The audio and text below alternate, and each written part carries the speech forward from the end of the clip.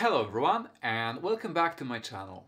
So in today's video guys, I'm going to show you how to update your GoPro Hero 12 Black using a mobile device. I think it's pretty easy, but if for any reason you have problems with it, just follow this video along and you will successfully update your camera. In this specific video, I'm going to use GoPro Hero 12 Black, but if you have any other GoPro, such as Hero 10, 11, or even newer model, this method gonna work for you as well. So what you're gonna need is obviously your GoPro camera. You're also gonna need a microSD card, plus a fully charged GoPro battery, and of course a mobile device with GoPro Quik App already installed on it. So here are the steps which you need to do.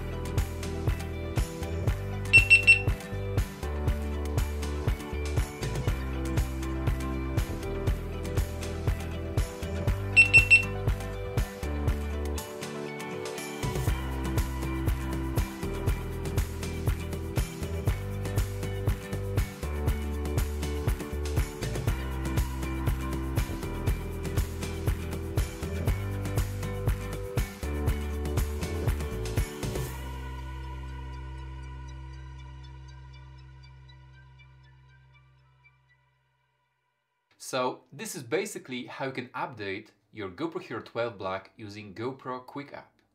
If for any reason this method doesn't work for you, maybe your phone is too old and it doesn't support GoPro Quik App or you constantly have some error, then there's an alternative method in which you can update your GoPro manually using your microSD card and a computer. If you're interested in this method, then I have a separate video on this topic. I use there GoPro Hero 8 Black, but every step is exactly the same no matter what GoPro camera you have. Alright guys, so for today's video that's gonna be that's it. Thank you so much for watching and if you're new to this channel then please give this video a thumb up and consider subscribing. This way you help me reach more people and I really want to thank you for that. So see you guys in the next video.